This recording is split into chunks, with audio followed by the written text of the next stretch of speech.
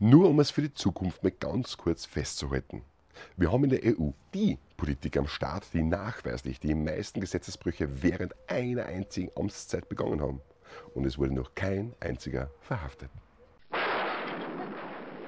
Ah ja, gleich zum Anfang. Wer dieses Video auf TikTok anschaut, bitte abonniert mich besser auf YouTube unter Schnippers Agatom. Die löschen nämlich nicht gleich jedes Video und jeden Account. Wir wissen, dass die Verantwortlichen in der Corona-Zeit mit vollster Absicht und vor allem vollstem Wissen willentlich gegen das eigene steuerzahlende Volk gearbeitet hat. Und nicht nur wegen den RKI-Files, aber alleine die von Paul Schreier freigeklagten, also gerichtlich anerkannten RKI-Files beinhalten genug Beweise, um diese Politiker anzuklagen.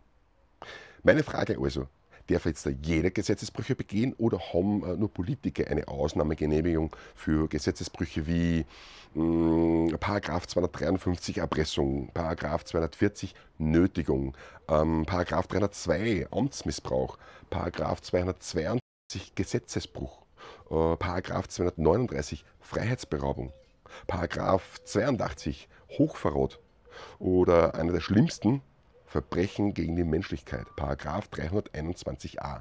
Das verjährt übrigens nie. Mhm. Googelt euch mit diese Paragraphen und lest euch die Definition genau durch. Ja, diese Straftaten sind begangen worden. In Deutschland, Österreich und andere Länder. Und auch noch mehr. Wohlgemerkt, die wussten es nachweislich besser. Wir alleine schon in den von Paul Schreier gerichtlich freigeklagten und somit auch gerichtlich anerkannten RKI-Files zu lesen war und sie mochten trotzdem weiter auf Pandemie. Hier übrigens mein Beitrag dazu, ja, müsste eigentlich schon für eine Anklage reichen, darf er gern verwendet werden. Jeder, der Sinn verstehend lesen kann, kann es spielend leicht überprüfen. Die RKI-Files verlinke übrigens unten in der Infobox auf YouTube. Beide Versionen. Die freigeklagte und die geleakte ungeschwärzte Version. Also nochmal, gelten Gesetze nun für alle oder nicht? Es wurde die Wirtschaft wegen einer mittelschweren Grippe, was man auch von Anfang an gewusst hat, absichtlich zerstört. Und ich rede jetzt noch nicht mal von den wirtschaftszerstörenden, sinnlosen, äh, sinnlosen Sanktionen gegen Russland.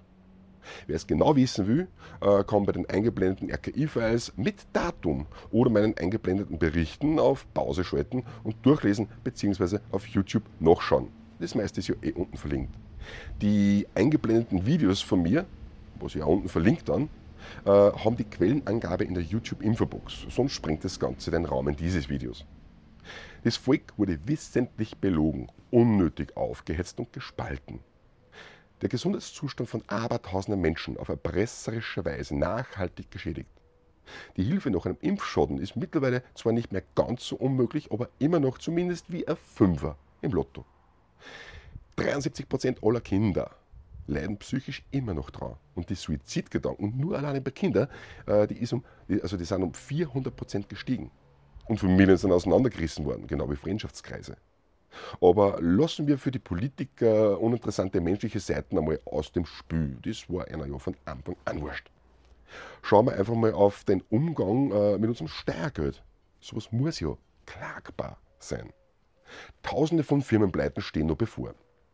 Die ganze Corona-Pandemie hat Österreich äh, laut APA Austria mindestens 175 Milliarden Euro Steuergeld gekostet. Das ist fast das Doppelte des Jahresbudget der Republik Österreich. Für nichts. Nachweislich. Deutschland ist mit 440 vergleichsweise ja noch quasi billig davon gekommen.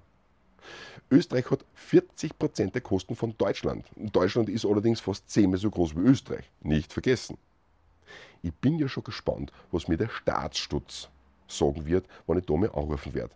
Und als brav steuerzahlender, unbescholtener, aber besorgter Bürger mal nachfrage, wie weit sie mit den Verhaftungen unserer nachweislich korrupten Politiker sind. In Österreich sind ja Nehammer, Schallenberg, Kogler, Ed Stadler, Johannes Rauch und ganze Konsorte immer noch im Amt und nicht im Gefängnis. Genauso wie in Deutschland. Da gibt es ja genug von Jens Spahn, Lothar Wieler, man der Lauterbach im Generellen, von Olaf Scholz bis Schlag mich tot, ja?